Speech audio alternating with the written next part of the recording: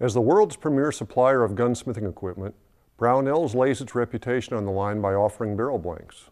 Such blanks must necessarily be good because gunsmiths who trust us are laying their reputation on the lines with their customers. As a discerning gunsmith, you know that Brownells will only sell you products that will enhance your trade. And we believe that the Brownell barrel, made for us by Ed Shilen, will do just that. Shilen barrels, either chromoly or stainless, are rifled with eight lands and grooves by the cold forming process using carbide dies made in Shilen's own plant. This rifling method achieves extremely close inside uniformity from breech to muzzle. Finished barrels are air gauge inspected down to 5 100 thousandths of an inch and 6 power bore scope inspected to boot.